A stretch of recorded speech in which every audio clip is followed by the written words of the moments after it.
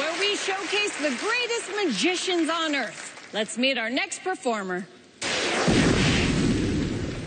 I remember I was six years old when I saw magic on TV, and I remember one specific magician. He made a card uh, tear in pieces and then restored again.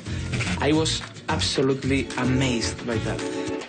I started to travel all over and I got some awards. It was like a dream and it still is because I'm working with different magicians now that were my idols and still are. I am David Copperfield.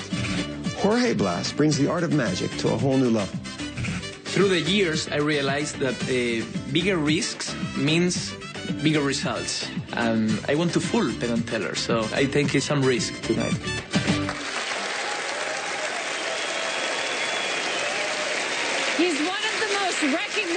Magicians in Spain, along with the randomly selected audience members. Say bienvenidos to Jorge Blass. Hola! I'd like to tell you a magic fairy tale. Once upon a time, there was a princess named Candice, right? Tonight, Your Majesty, we will find you your prince, okay? Not just any prince, but a kind and handsome prince. You will love him, I'm sure. This prince lives in this beautiful castle right here. It may look old fashioned, but I promise you it's beachfront property in Malibu. Yeah. Should I draw your prince for you? Okay. So now, drawing is not one of my greatest talents, but Alison, could you take the, the castle for me? Sure. You're a princess too. Hmm, thanks. I know. now, what do you look for in a man? Maybe a crown? we in Spain love crowns. Maybe a happy face like this? One eye? Maybe big arms? Watch, this is a long cape. Okay, Candice, you can swipe left on this one, maybe. but I promise you, my magic is much better than my drawing, okay? Here we have a deck of cards. And one of these cards is your prince. Now, you know something? An old witch cast a spell and something magical happened. Can you see this? Mm-hmm.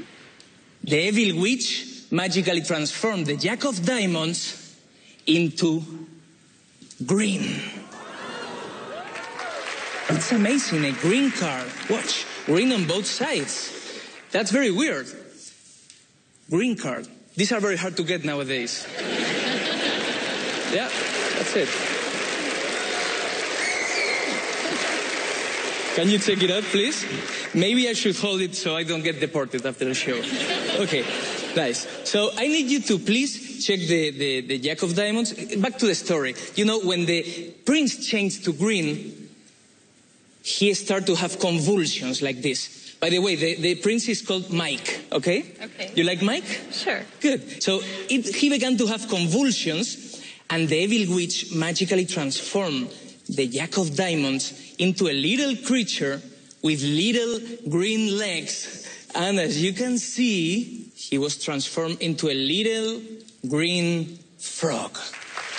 This, this prince may not look like much, but he's willing to fulfill your every desire. Okay? You have many desires here. I'd like you to, to see that this is the deck of cards, okay? And, and you can take a bunch of cards so you can see many, many desires. And I need you to make a choice, okay? So please cut the cards anywhere you want. Go ahead. Did you cut freely? Yes. Do you want to complete and cut again? It's your choice. No. Are you happy? Hmm? So this is the card you just selected. I need you to please remember the card. At home too, please remember the card you see. Now, we will lose the card. I need you to push like this. So it goes through the middle. And now something very interesting comes, okay? I need you to cut the cards, half of the deck. Okay, and now cut again, please. Nice. And another cut. Good. Did you cut freely? Yes. Okay, I need you to put the Jack of Diamonds, okay, on top of one of the cards you just selected. Go ahead. Put the frog on top of one of the piles. This is not selected, right? No. So there are many different cards here not selected. Do you want to change your mind? No. No? You don't want this one? No. No, many cards, all different. They, they were not selected. Okay, and last chance. Candice, do you want to change your mind? No? So you don't like this pile? Okay. They're all different as you can see. And you landed on this specific card. And you can see here they're all single, you can touch them, all single cards like this. So they, they are all not selected by you, right? Because Mike took you to one specific card. And the cool part is, right here is exactly the card you desire. The seven of cards. It's really cool, right?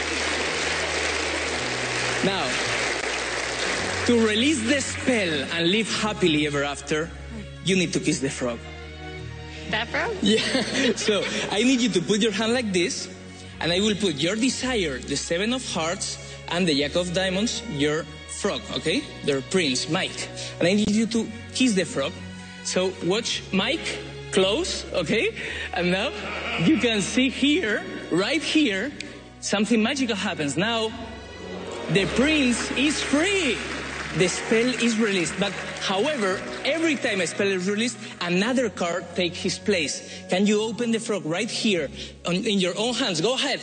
Open your hands and, and just see that right there is what your heart desires. The seven of hearts. Right there. It's impossible. Right there. Now comes the big finale of this story. Let me put the prince into the deck like this, and let me get the frog again, because now the final jump is going to amaze you, okay? The frog will jump and land over your prince. Watch. Watch. Could you please cut the cards? Cut the cards? Wow! The fairy tale came true, and it's exactly your card, the Jack of Diamonds, your prince. Wow! Can you turn the chair? But Candice, you didn't want the frog. You want the prince, and I want this story to have a happy ending. Mike is here, and they were all happily ever after.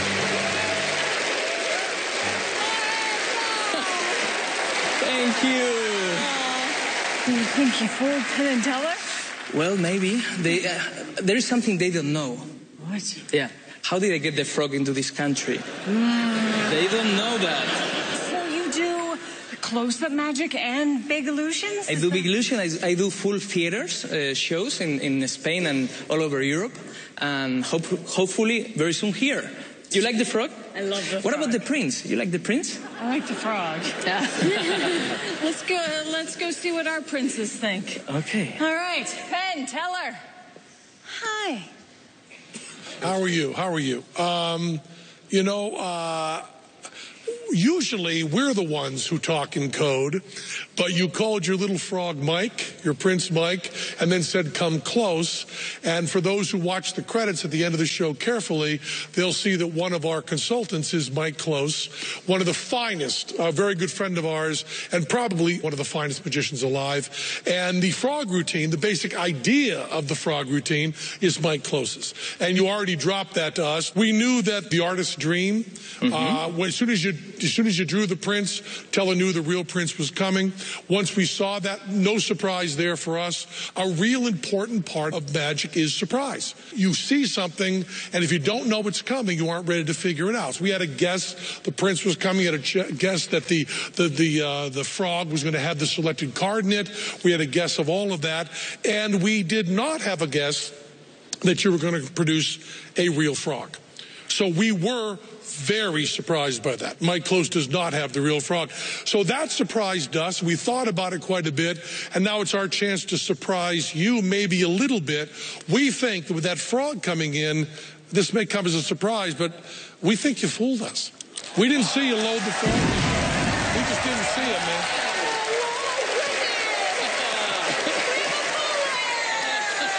Thank you so much. Nicely done. Thank you. Very nicely done.